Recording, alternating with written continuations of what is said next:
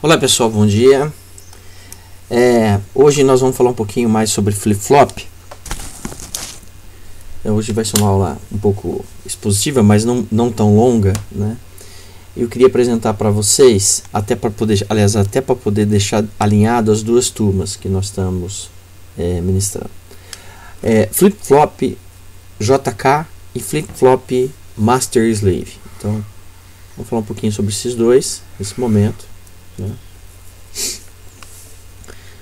É, esse material eu já disponibilizei para vocês, tá? Para vocês poderem é, acompanhar. Então tá aqui. Qual é a ideia do flip-flop JK? O flip-flop JK ele entra com um conceito de clock. Isso aqui é um clock. Clock. Né? Então, é, ele, ele, ele tem as duas entradas. Agora não chama mais RS, mas sim J J, que é o 7, que seria o S, e K, que seria o reset, beleza? E aí ele tem uma composição aqui que é, a gente pode ir estudando esse negócio, mas eu acho besteira, tá? Né? Eu acho besteira a gente estudar isso. É, é, um, é uma perda de tempo, ao meu ver, assim. Né? Se você tiver curiosidade, vai ensaiando aqui os valores para clock igual a zero, J igual a zero, K igual a zero, ver o que acontece. Assume alguns valores para esta entrada, aquela 0 e 1 um, e para essa entrada aqui, né? Assume valores para essas duas entradas e vai fazendo aí a composição, tá? De qualquer forma, esse flip-flop, ele, ele tem uma característica bem interessante que está aqui, ó. Então, o JK, o flip-flop J, é, opa, K, então flip-flop JK, se eu tiver o clock em zero, clock em zero, não importa qual a entrada em J e K, não importa. Sempre o estado da saída Q, Q, tá? Q barra é o contrário de Q, tá? Sempre o estado da saída Q, nós vamos desenhar o flip-flop JK assim, ó. Olha, vamos colocar aqui, vamos colocar aqui uma entradinha do clock, vamos colocar aqui o J, e o K. Aqui é Q. E aqui é Q barra. Tudo bem? Né? Eu, é, aqui ele não, não apresentou isso, mas seria isso, tá vendo? JK, Q e Q barra. Então tá aqui. Então vamos lá. Se a minha saída Q for 1 e eu colocar clock em 0, não importa o J e o K, a saída vai continuar é, a saída aqui vai continuar do jeito que estava. Tudo bem? Não importa. O que importa é o seguinte: clock em zero, não muda Q. Agora, se o clock estiver em 1, se o clock estiver em 1, então se o clock estiver em 1, se ele estiver em 1, aí ele habilita as entradas J e K. E aí sim, a, a, o comportamento de saída de J, opa, eu é, acho que é esse. O comportamento de saída de J e K perdão, de Q e Q barra, vai depender dessa parte da tabela. Olha, essa parte da tabela que é o cara, né? Então, olha só, o clock em 1, o que, que é o clock em 1? Eu aplico tensão aqui no clock. Se eu aplicar tensão em clock, o clock está em 1. Então, a partir daí, J e K vai responder a essa tabela. Se J tiver em 0 e K tiver em 0, então o QA, o Q continua do jeito que ele estava. Se ele está em 0, fica 0. Se ele estava em 1, um, fica em 1. Um. Isso porque J e K está em 0 e eu tenho clock.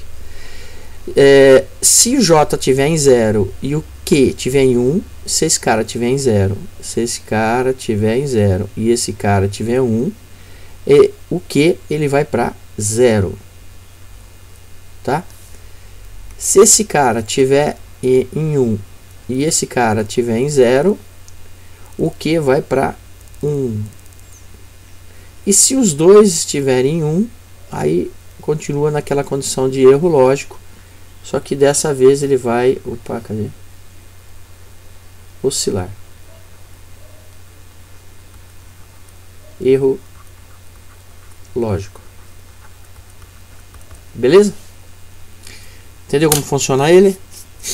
Dá uma pensadinha sobre isso daí, tá? Então esse é o JK. Agora o JK Master Slave. mestre escravo. JK mestre escravo é ele ele é igual ao JK normal, só que são dois. Agora são dois. Colocaram dois, tá? E aí tem uma jogadinha para lá, uma jogadinha para cá, tem uma porta note. Olha aqui, ó, tá entrando uma porta note.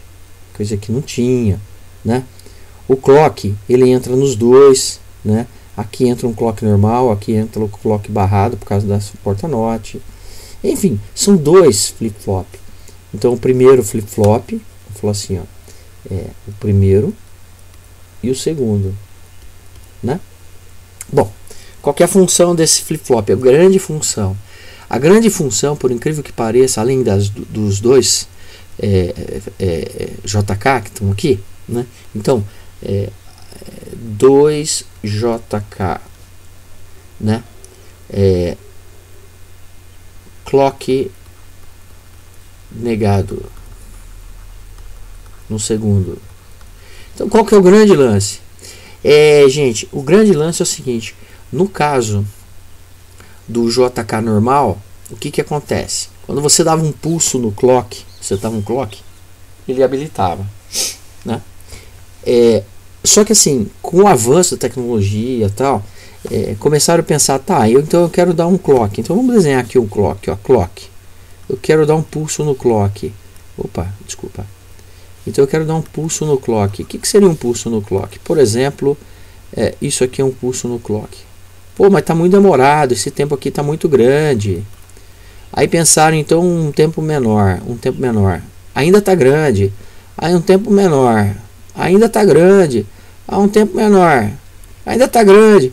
Aí o que desenvolveram assim? Ah, e se a gente fizer o seguinte, um clock que ele é sensível, por exemplo, a borda de subida, subida, ele não é sensível a nível 1, ele é sensível à borda de subida. Ou ele é sensível à borda de descida, não aos dois, tá? Ou subida ou descida. Então ele não detecta mais nível 1. Esse cara não detecta mais nível 1. Ele é sensível a borda, borda, borda. Legal? Então ele é tão rápido que simplesmente se ele detectar uma borda de subida ou uma borda de descida, depende do, do modelo, tá? Ele vai funcionar. Ok?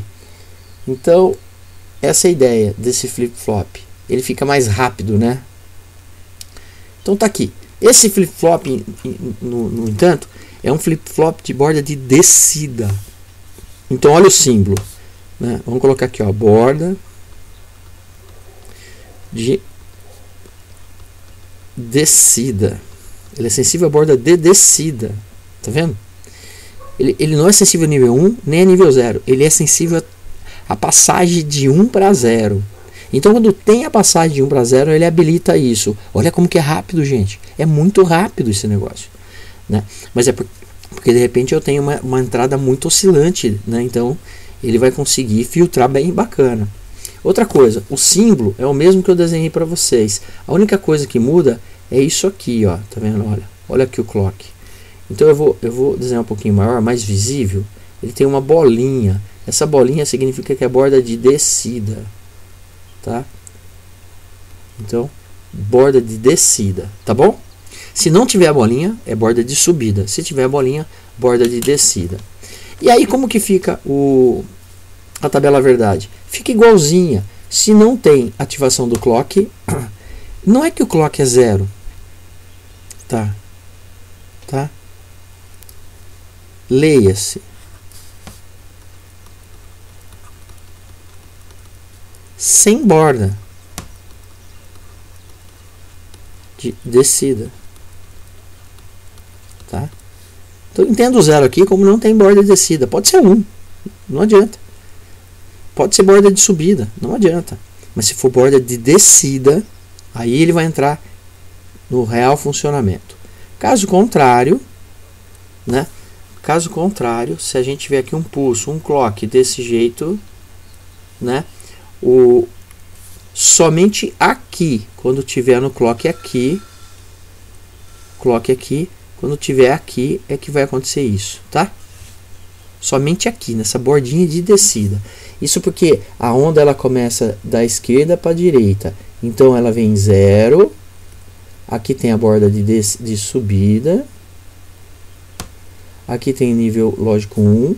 E aqui nós temos a borda de descida. Tudo bem? É assim que funciona. Então, é, no, se não tiver borda de descida, nós temos aqui. É, como que eu diria? Nós temos aqui o estado anterior, ele vai continuar, não vai alterar. Se tiver borda de descida, se tiver 0 em 0, continua anterior. Se tiver 0 no J e 1 um no K, fica em 0 a saída Q. Se tiver 1 um no, no J e 0 no K, fica em 1 um a saída Q. E se tiver um 1, olha só que interessante, ele inverte a saída. Mudou, mudou, mudou, né? Mudou. É, eu não sei se eu consigo tirar esse cara. Eu queria tanto tirar, mas eu não devia ter feito isso. Eu, eu vou desenhar aqui. Aqui, aí. Eu vou desenhar aqui que eu quero aqui CLK ou CK, tanto faz, tá? E aqui tá, esse aqui então é o é, é esse é, esse símbolo aqui, tá, gente? E eu vou apagar esse cara aqui e eu quero aqui, eu quero simplesmente fazer uma analogia. Então, vamos lá. Vamos colocar aqui borda de descida.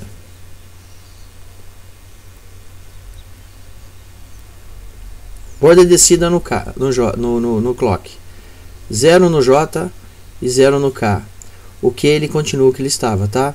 Então eu vou chamar que Q vai ser igual a Q anterior. Ou seja, se ele está em 0, fica em 0. Se ele está em 1, um, fica em 1. Um. Beleza?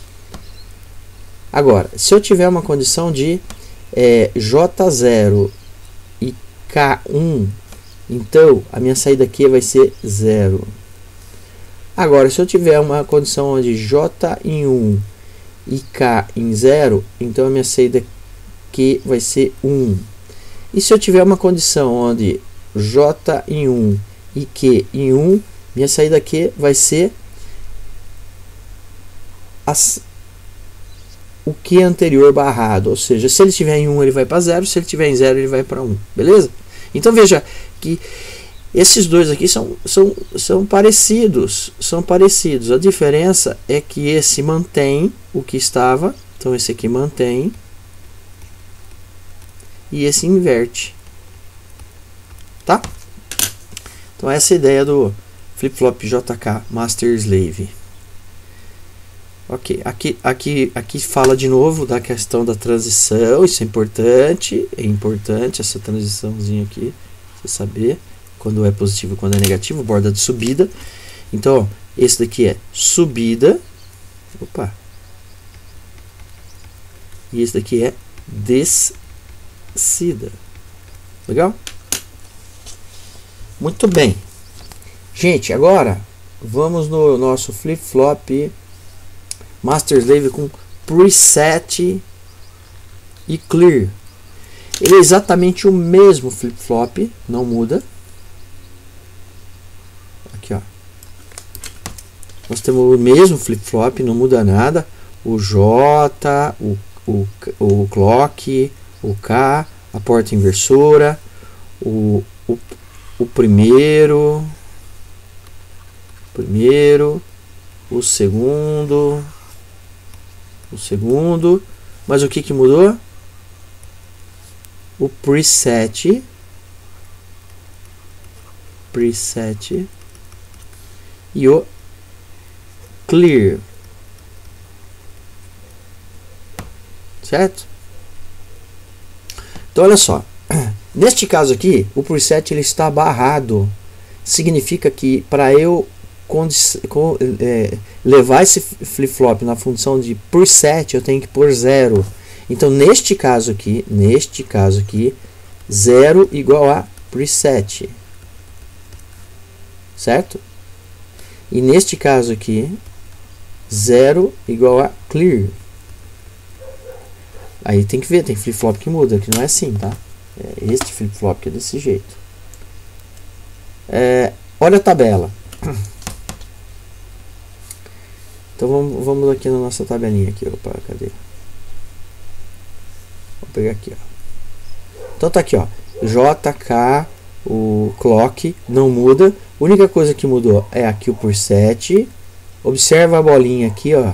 A bolinha aqui, que é o de o negativo. Aqui também, ó, o clear, negativo. Observa. E qual é a função do preset?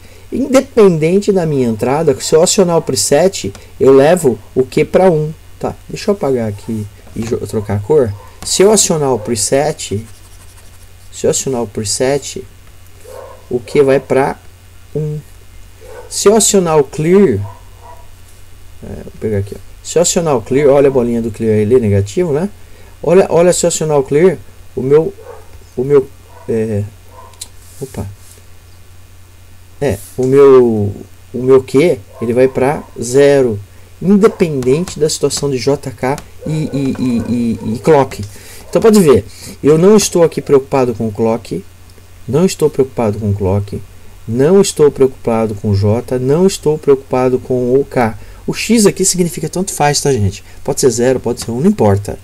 Né? Se eu colocar 1 um, um por 7 e 0 no clear, a saída Q vai para 0. Então olha só, o Q aqui, o, o clear aqui, sair daqui vai para zero.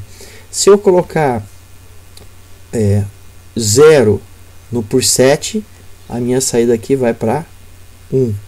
Entendeu? E o restante aqui funciona como o anterior, não muda. Então a única diferença do, do set e do clear é forçar o flip-flop a assumir um estado independente da combinação de suas entradas. Legal? Isso é muito legal, gente. Isso daí é realmente foi uma sacada muito bacana. Bom, os dois últimos flip-flop que eu quero apresentar para vocês são os flip-flop tipo D e tipo T, tá? Vou falar um pouquinho do tipo D, né? Flip-flop tipo D. Ele, ele na realidade é um flip-flop JK Master Slave, não muda. A única diferença é o, é o Master Slave, tá, gente? Se você pegar isso daqui, ó, Ó, isso aqui é o flip-flop, flip-flop JK Master Slave. É o flip-flop JK Master Slave. Se você procurar, vai ser isso daí. A única diferença é que as entradas, neste caso aqui, eu junto J e K através de uma porta NOT e chamo ele de D. Então, nós podemos, aqui ó, eu fabriquei um flip-flop JK, é, um tipo D, mas eu posso ter o tipo D, né? O tipo D é esse aqui, ó. Deixa eu descer um pouquinho. Olha o tipo D. Uma entrada D. Eu tenho aqui o clock e tenho o Q e o Q barra. Entendeu? Só que eu posso usar, posso usar o JK Master Slave. Deixa eu ver se cabe os dois, cabe. Não, não cabe. Aí. Eu posso usar um flip-flop JK Master Slave com uma porta-note ou usar um flip-flop tipo D, porque isto é tipo D. Entendeu? Usando o, o, JK, eu faço um tipo D. Ou simplesmente eu tenho o tipo D, que aí eu represento dessa outra forma aqui. Beleza? Então tá aqui, ó. Esse é o tipo D. Então aqui é a entrada D, a entrada D, o clock, borda negativa, assim, borda negativa, vamos desenhar aqui a borda negativa, sensível à borda negativa de descida, sensível à borda de descida, Q e Q barra. Quando eu tenho borda de descida, se a entrada D for zero, a saída QF é zero. Se eu tenho borda de descida, se a entrada D é 1, a QF é 1. Ou seja, ele repete D em Q. Certo? Então, se eu tiver zero, se eu tiver zero, se eu tiver zero, tem uma borda descida, saída vai para zero. Se eu tiver 1, um, tem uma borda descida, saída vai para 1. Um. Ok? Fácil, né? Muito bom. E o tipo T? O tipo T, ele também é uma combinação do JK. Então, olha só, eu tenho aqui o JK. Esse é o JK, né? Esse aqui é o JK, flip-flop JK, MS, Master Slave. Eu curto circuito J com K, curto circuito e viro um T.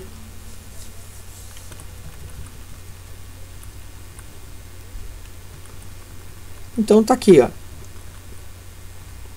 A tabela verdade aqui, ó. Né? Aqui nós temos o tipo T. Opa, não queria fazer isso não. Vamos apagar. Então eu tenho aqui um tipo T. Opa. E a borda de descida, né? Então olha só, se eu tiver zero, se eu tiver zero no T, a minha saída vai inverter, vai para 1. É, não, desculpa, gente. Não é isso. É, se eu tiver zero no T, a minha saída vai para Q anterior. Se eu tiver 1 no T, a minha saída vai para Q anterior barrado. Agora, se você pegar particularmente o, o D e o T, então ó, grava aqui ó, o T. Legal? Se eu tiver 0 e 0 ou 1 e 1, se eu tiver 0 e 0 é QA. Se eu tiver 1 e 1 é QA barrado. Isso no, no JK, né? Lembra? Porque nós estamos curto-circuitando, né? Aqui, ó. Nós estamos curto-circuitando. Se eu colocar 0, se eu colocar 0 aqui, vai ter 0 aqui e 0 aqui. Se eu colocar 1, um, vai ter 1 um aqui e 1 um aqui. Se eu tiver 0, aqui vai ser o que anterior. Se eu tiver 1 um e 1, um, aqui vai ser o que anterior barrado. Agora, se a gente voltar lá no JK Master Slave, gente, você vai ver que isso não é uma novidade. Aqui, ó. Aqui. Se eu tiver 0 e 0, é o anterior. Se eu tiver 1 é, um e 1, um, é o anterior barrado. Já estava. E a outra condição do tipo D está aqui. É a mesma. Tá? Então, o que, que é o T e o D? Né? O que, que é o T e D? O, o, flip-flop T e o flip-flop D nada mais é do que você pegar os casos particulares é, de entrada. Neste caso, eu estou pegando o JK e estou colocando é, é, 0. Se aqui for 0, aqui vai ser 1. Um, e se aqui for 1, um, aqui vai ser 0. Estou pegando 0 e 1 um, e 1 um e 0. Nunca vai ser 0, 0 e 1 um, e 1. Nunca por causa da note. E estou pegando, se aqui for 1 no T, a saída vai ser, o, o, J, o K vai ser 1. Se o, o J for 0, o K vai ser 0. Então aqui eu estou pegando o 0, 0, 1 e 1. Perceba que eu estou pegando os casos particulares de, do JK com entrada 00 e 0 e 1 e colocando, é, pegando as suas, as suas tabelas, né? Aí uma, uma explicação né, bem interessante é esse cara aqui, ó, um circuito, um circuito é, ele chama de divisor de frequência, né? Um circuitinho divisor de frequência, olha só. Então eu estou pegando o, o, o, o, olha, JK curto-circuitado, então é um flip-flop tipo T, né? Tipo T. Esse também é o tipo T. Curto-circuitei, ó. Então é tipo T. E joguei em 1. Joguei em 1. Quando você faz isso, lá na tabela do tipo T, ó, você joga em 1, ó. Ó, flip-flop.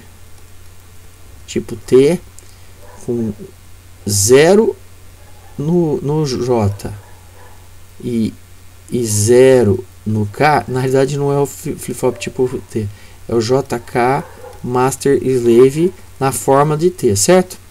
Então olha só, quando você joga 0 no, no, no, no 0 no J e 0 no, e 0 no K, na borda de descida, ele inverte a saída, concorda? É, legal, então tá bom. Então é isso que vai, vai acontecer aqui, ó. observa. Então eu estou curto-circuitando. Quando eu jogar uma borda de saída, o Q aqui, que estava um QA, vai para QA barrado. Quando ele vai para QA barrado, ele está gerando um pulso. Quando ele, ele, ele, mudar, ele, ele mudar esse pulso, ele vai jogar um clock para cá. Mas nós vamos ver agora na sequência. A melhor forma de ver isso daí é através de um gráfico. Olha só. Então, ó, nós temos aqui. Eu vou, eu vou fazer assim, tá? Para você tentar acompanhar. Nós vamos pegar aqui e colocar dois tipo T. Esse aqui é um T. Certo? esse aqui o Q e o Q barrado e aqui o segundo o segundo cara o tipo T também, o Q e o Q barrado, certo? Então esse vai ser o A, vou chamar de QA, e esse vai ser o B, QB. Tá ruim, então vou chamar aqui de A e de B, pronto, certo? E aí a gente vai fazer o seguinte, aqui eu estou usando o QA, então eu vou pegar esse aqui é o QA, eu vou pegar o QA e vou trazer aqui, esse aqui é o QA, estou, nossa, QA, e esse vai ser o nosso QB. O QB eu não vou conseguir aqui, mas eu vou pular aqui, ó. QB. Legal? E esse clock aqui eu vou jogar aqui. Tá? Então aqui a gente tem o CK e o CK aqui do B. Então olha só, eu estou entrando com um pulso aqui, ó. Estou entrando com esse pulso aqui, ó, no clock do A. Beleza? Então tá bom, então tá aqui. Todas as bordas de descida eu vou marcar. Então aqui é uma borda de descida. Zero, sobe, continua descida. Zero, sobe, continua descida. Zero, sobe, continua descida. Então marquei todas as bordas de descida. Vou prolongar aqui, ó. Prolongou. Prolongamos. Prolongamos. Prolongamos. Agora nós vamos no flip-flop A. Porque o, o, o clock não está no A.